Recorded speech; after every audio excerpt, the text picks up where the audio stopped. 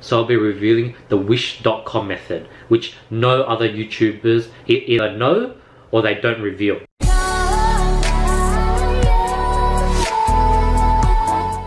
Hey guys, what's up? Today I'll be going over a highly requested video. So I put up a poll on my Facebook group which just hit 100 members. So I highly recommend you guys join the group.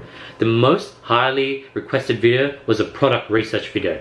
So today I'll be revealing another product research method which not many people use or reveal. I was planning to save this method for course that I was planning to drop later down the road but I was like why not? Let's provide my viewers golden nuggets and actual valuable content because I really believe in providing content rather than saving it for myself and being greedy about it. If I did drop a course, it would just be in-depth methods of everything I have on my YouTube channel. That's my goal. People who want to go to the next level, want a handheld relationship, then they could join my course. But for those who are able to, you know, spend hours and a lot of effort into, you know, learning my free content, they'll definitely be able to succeed. And that is my goal, to be able to create content for you guys that allow you guys to succeed, not just to give you a little taste or a little bit of information and require you to buy the course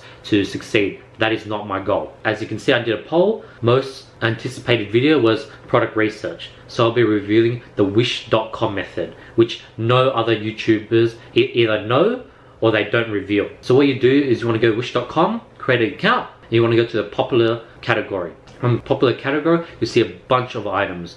Wish.com is basically the world's biggest dropshipping store. It's insane how many products they have. And basically, are usually the first to come out with winning products because they test a lot. And as a result, they sort of create the winning products before you see them getting advertised by other Shopify dropshipping stores. So, obviously, I'm not going to ask you to test every single product. There's some golden rules that I'm going to reveal. One, you don't look for a product that has 5,000 more plus bought this. This is really important. You don't want to test products that are under 5k. So as I said, you want to be testing products that are already selling. Get a piece of the pie rather than creating the pie. That's my motto. Two, no general clothing. You don't want to be testing general clothing because fashion is so competitive. It's really difficult to sell fashion clothing.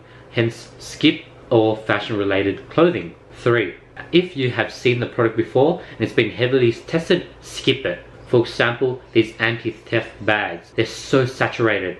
That's why I highly recommend you to skip products that you've seen before. Stuff like blackhead mask, hair coloring wax, anti-theft bags. Skip products that you have seen that have been heavily tested. So that's about it. That's the simple wish.com method that I just revealed. So when I hit 200 members on my Facebook group, I'll be doing another poll and if everyone hits product research again, I'll be forced to reveal another method. So if you wanna learn more, join my Facebook group e-commerce legacy. If you like this video and found it helpful, drop a like below. If you have any more questions, drop a comment below. Don't forget to subscribe and I'll see you guys tomorrow. Peace.